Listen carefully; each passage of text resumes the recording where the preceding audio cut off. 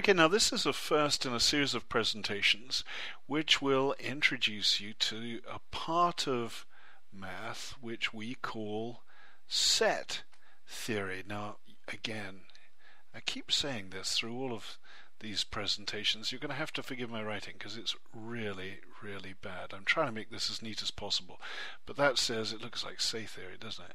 But it says set theory. And that's what we're going to uh, we're going to discuss. Now set theory is probably something that you haven't come across in school where you've been focused in math classes on arithmetic, multiplication, division, addition, subtraction of natural numbers, and then moving on to fractions and maybe use some some some of what we call trigonometry and geometry, angles, and so on and so forth.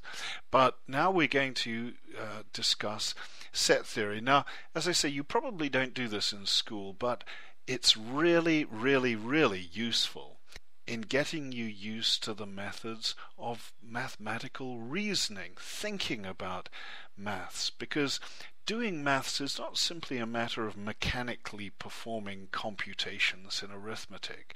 When you get on to do maths later in school and at college and so on, you will have you'll be given problems which require you to think about how to prove things and so on and so forth.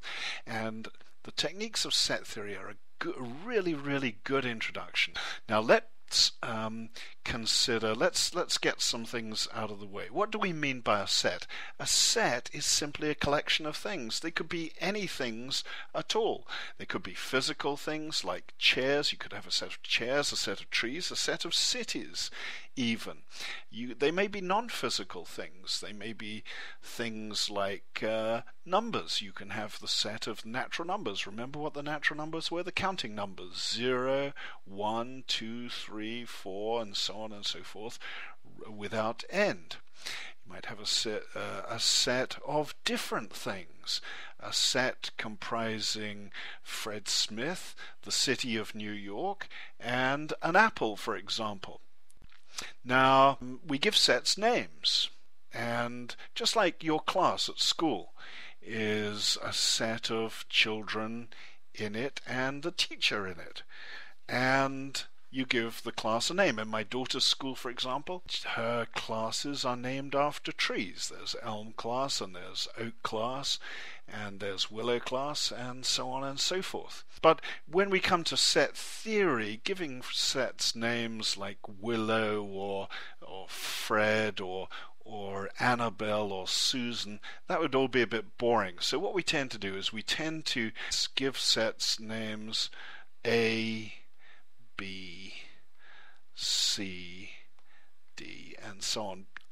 Capital letters. Now, we might have a set comprising with the only things in it, only three things in it, which is Fred Smith, New York City, and the number three, for example.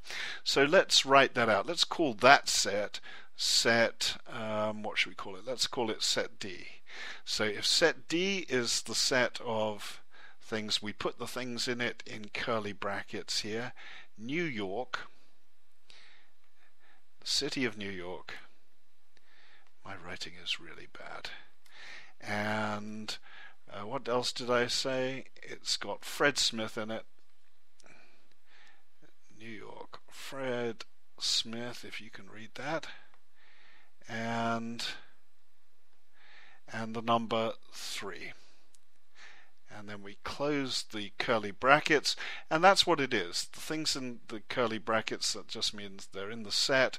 So D is the set of New York Fred Smith and the number 3 now we might have uh, sets which comprise a whole lot of things, where to write them out like this would be really, really boring. Suppose we have the set of all natural numbers, the counting numbers. Now, let's call that set n. And we'll say that n is the set, as I say, of all the natural numbers, that's starting with 0 and then 1 and then 2 and then 3. And remember, we can go on adding 1 without limit. There are an infinite number of things in this set of natural numbers. So how do we signify that? Well, we've got 0, 1, 2, 3. You get the idea of how this set is made up just by adding 1 to the previous um, number in the set, you get the next one, and so on and so forth. So we can signify it like that. But there's another way of defining this set. We know that anything in this set n, everything in this set n, is a natural number. And anything which is a natural number is in this set n. So what we can say here is n is the set of all things x such that, and we put a little colon in here, x is a natural natural number.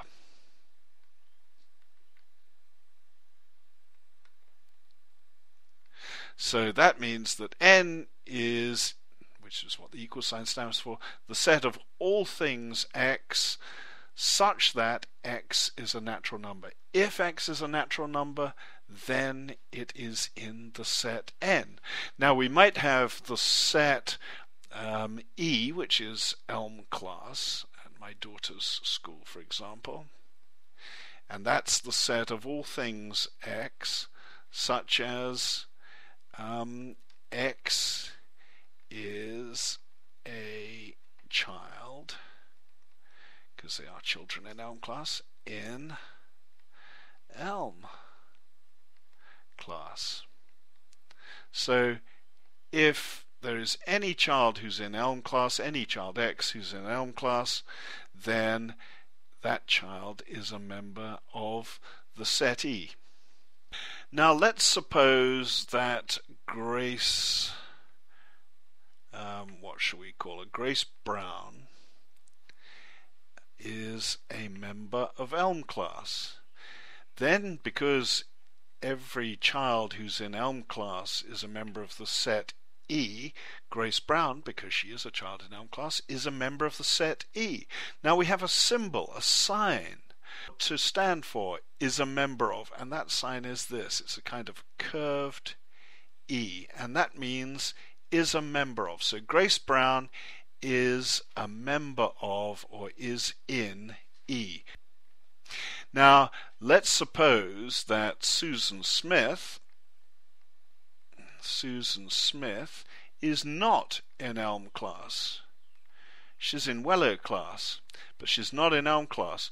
And only things in Elm class, only children in Elm class, are in the set E. So we have a sign that means is not a member of. Susan Smith is not a member of the set E, so we have the membership sign there, but we put a line through it, and that means is not a member. So Grace Brown, because she's in Elm class, is a member of E, but Susan Smith, because she's not in Elm class, is not a member of E, and that's the way we write is not a member of. Okay, now before we finish this first short video on set theory, let me just make one point about sets, and that is that a set is simply defined by its members, the things that are in it. Now, what exactly do I mean by that? I mean that if we have two sets and they have the same members, then they are the same set. Now, let's take an, an example. Let's suppose here that we have set A. And again, my handwriting is appalling. And let's suppose that the set A is the set of all things x such that x is an odd number, and I'll just write x is odd. That doesn't mean strange, it means that x is an odd number. And, I'll just underline that to emphasize it, x is greater than 0. And what this sign means here is that x is greater than, you see that that is bigger than the point here. It's greater than 0, but it is less than, let's suppose, 8. And 8 is greater than x. So x is less than 8 and it's greater than 0. What does that mean? Well, it means A is the set of all odd numbers which are between 0 and 8, greater than 0 and less than 8. Now let's suppose that we have another set, B, and let's suppose that B is the set with just these numbers in it 1, 3, 5, and 7. Okay, B is the set which has as its members just these four 1, 3, 5, and 7. Well, now you'll notice that 1, 3, 5, and 7 are the only odd numbers, and all of the odd numbers that lie between 0 and 8, the odd natural numbers. So A has, as a matter of fact, 1, 3, 5 and 7 in it, and that is the same, those are the same members as B. And if that's the case, then A is equal to B.